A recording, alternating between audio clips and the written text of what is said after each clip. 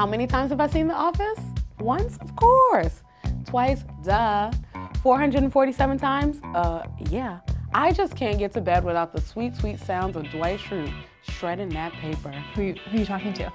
Oh, I'm just getting into mockumentary mode because today on Bustle Breakdown, we're talking all things The Office! You're, you're flat, you're flat. So Vanessa, almost as soon as it ended, people started asking for a reboot. Why I do you think that is? I think it's because of all the like drama, like the relationships, the hookups. Like we wanted to know where everyone was going, what was happening. those hookups were so Juicy, juicy. juicy, You know what we should do? We should do a breakdown of all of those moments. okay, Like, yeah, like all the Dunder drama. Yes, Okay. okay. You wanted like 90 seconds? 90 Okay. seconds for ready? a whole series? Yeah, nine seasons. 10 seconds a season. Okay. Ready? Go.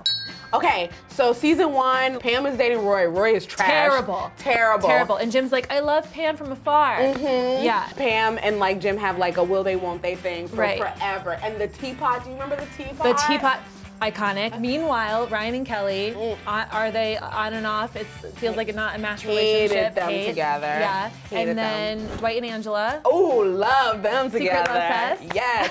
I love when two weird people come together to make some weird love. Perfect for each I love strange love. But then, like a couple of seasons in, Dwight kills Angela's cat, By so she dumps him. Jim and Pam do get together eventually, Mhm. but it's like a secret. Do you remember how he asked her out? She was talking about her like forlorn love for him, and then he comes in. He was like, "Hey, do you want to grab dinner?" Yes. And she goes, "All right." And then he goes, "It's a date." Oh, yes. Yes.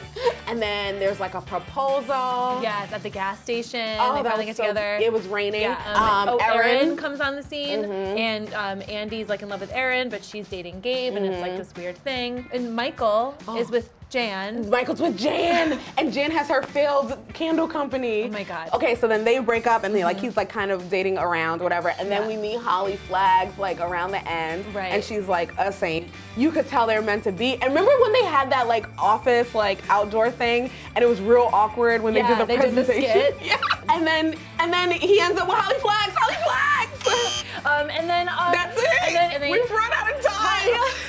The Dunder Mifflin crowd could get down. But that's also why like The Office is so relatable. Like the Mm-hmm. characters are so real. Like who do you think you're most like?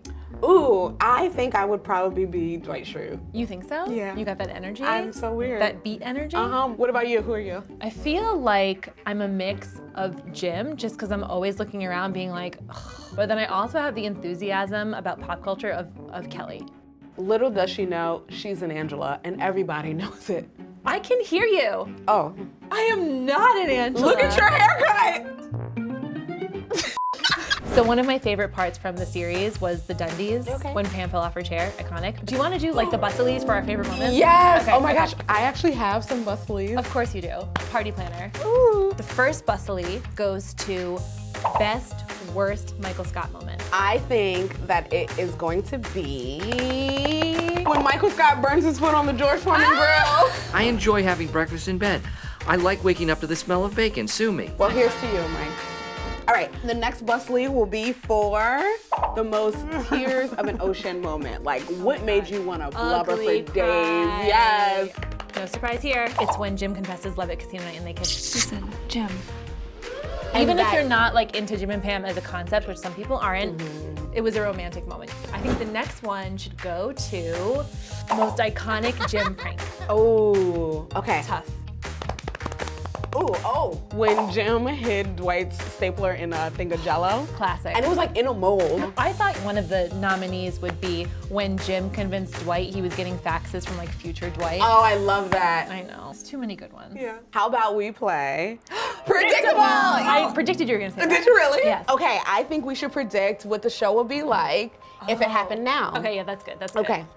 I predict that Erin has been stuck in a dry cleaning line for years because she letting everyone cut her. That's She's so like funny. too nice. Yeah. That's so funny. I predict that after Dwight and uh, and Angela. Angela's wedding, you know that baby that yes. That Kelly leaves and like they just like run away together. Yeah. I think that that baby ends up becoming like the most famous chef, and he has like a show where it's like his Okay. Mm-hmm. family and like hijinks and like frosting. Okay. I predict that Michael and Holly have like a really tasteful B&B Mm. and all the guests react the same way that all his like employees did Yes. at the office. They're always like, what's happening here? I predict that Toby reinvents himself as one of those pickup artists where they teach men how to like bag women. That's so funny. Yeah. okay. I predict that Ryan goes on to make what later becomes Fyre Fest.